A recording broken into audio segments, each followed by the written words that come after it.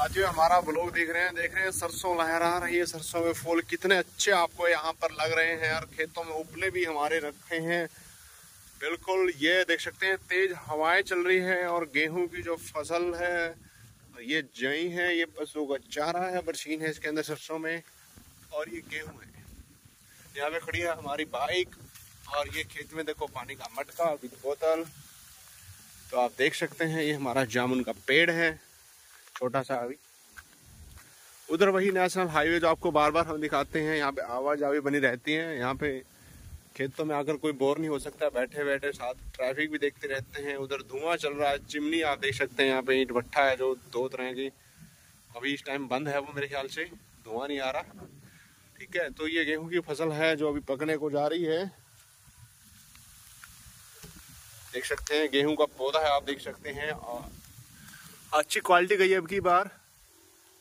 थोड़ा फ़सल में डिमक वगैरह की दिक्कत अब की बार रही थी और आप देख सकते हैं, इस तरफ़ तो पशुओं का चारा है जईज को बोलते हैं, उधर गेहूँ आप देख सकते हैं। ये जो नाले दिखा रहा हूँ, खेतों का पानी जाता है यहाँ से, किसी और पड़ोसियों के। तो बिल्कुल कहीं बोल्ट पटाखे की आवाज़ आ रही है, कहीं किसी की आवाज़ आ रही है।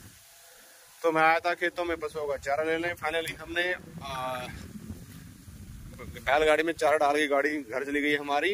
और मैं जाने वाला हूँ घर क्योंकि बारिश का मौसम है यहाँ पर मुझे डर लग रहा है कहीं बारिश ना जाए। ये पशुओं का गोबर है जो यहाँ पे